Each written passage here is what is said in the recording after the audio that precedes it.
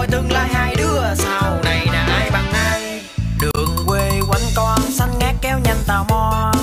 Cho về làm dâu chứ đâu cần gì để má giàu to. Ba má anh đã kêu anh bay cưới đi tiền tao sẽ lo. Thôi quá tuyệt vời tụi mình là nhất trên đời. Ngày đang